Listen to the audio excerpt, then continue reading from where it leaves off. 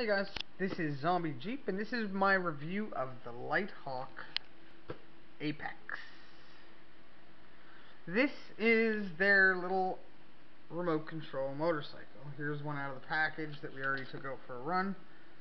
Um, fun little thing. It has a little stabilizer, as you can see. Uh, charge cord up to that little red light. Once that light goes out, it's fully charged. It takes about half an hour.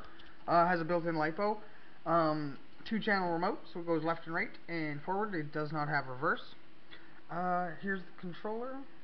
Uh, really easy to bind. You have to turn the motorcycle on first the first time and then turn this on. They'll flash for a few minutes and they work. Um, has a built-in tail light and a working headlight.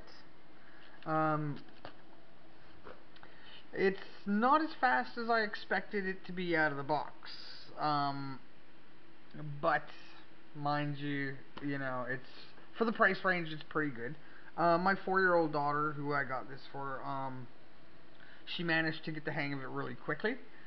So, yeah, um, overall for the price, it's it's a fun little toy. Um, I would not recommend this for you know grown-ups that want to go out and have fun, but for kids uh, between the ages of four and you know 12 or whatever, um, yeah, it'll be perfect. It takes four uh, AA batteries that you undo this screw here and the back plate comes off and uh, this has a built-in, like I said, rechargeable battery.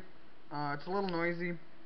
The gyro inside, it has working front suspension and working rear suspension. And I'm not sure what to say about my review. Uh, we tried it on pavement. It worked great. Um, if it's rougher pavement, when it turns, the little stabilizer like this, the little stabilizer bars will get caught and sometimes flip it over. Um, it takes impacts really well. She hit curves with it and it was absolutely fine. Um, the battery life, I'd say probably about 5 to 8 minutes. Uh, hopefully they come up with some upgrade options. Uh, there's a full parts replacement list on litehawk.ca, which is right there on the fender. Uh, this is the blue model. My daughter picked the blue one. Uh, this one's actually for the little girl upstairs.